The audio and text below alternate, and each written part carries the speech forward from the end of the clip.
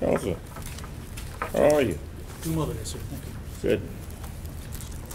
An arraignment form, gonna need your client to sign for me, is is basically be exactly what I say, what we're doing here today. He just needs his initials in each box, and of course, his signature at the bottom. As earlier, I do normally read their arrest warrants as well as the, the charges themselves. Are you waiving the reading of the warrants at this point? We are, Judge. Thank you very much. Get him to sign it for me, please.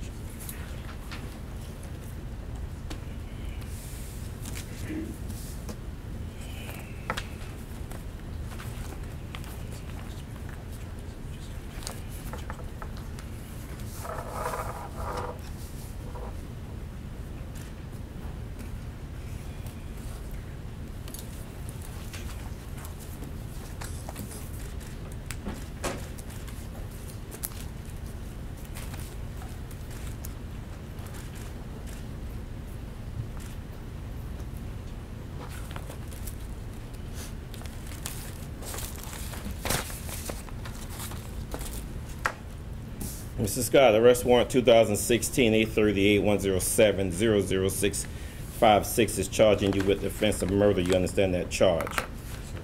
Arrest warrant 2016 838-101-007-87980, all charging you with offense of murder as well. You understand that charge? Those charges. Uh, 2016 838-101 0081 is charging you with offense of attempted murder. You understand that charge? 2016 A 38 101 00082, first degree burglary. You understand that charge?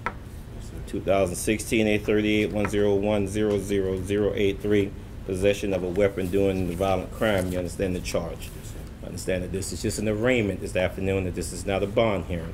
This court, of course, lacks jurisdiction in setting bond on you, which means that you'll be going before a circuit court judge in order for bond to be set on you. My job simply today is to inform you of all of your rights, which first being that you do have the right to remain silent. Anything you say can and will be used against you in the court of law.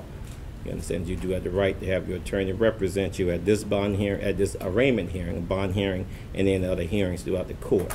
Please be aware that a warrant will be issued for your arrest if you violate any conditions of a bond order that's going to be placed on you. You have the right to be present at the trial, and if you're not there, the trial, of course, is going to proceed in your absence. Failure to appear at that trial will result in additional charges, especially if you're found guilty of the current charges. You have a right to a preliminary hearing. If you request it, you or your attorney must send it to the address listed there 10 days after the bond hearing has been set on you. You have the right to, a jury trial, and if you request that, you must submit that to the court in writing. You have the right to have an attorney represent you at the trial. If you're not going to afford, if you're not going to have the services of this attorney, you need to fill out that application, submit it to the clerk's office, and they'll make a, make an application for you to actually have an attorney represented for you. You understand that? You've understood everything that I've just told you. Any questions before we proceed? Counsel, anything from you? No, sir, Judge. Anything on behalf of the victims, please? As previously noted, um, Your Honor, the court, uh, that our families are here in court and they will be a part of this entire process. Thank you. Then make sure that they are. Anything from the state? All right. Let's copy here of everything that I've just told you. All right. Thank you very much. And we are done. Thank you, Judge. You're welcome. There you go. That's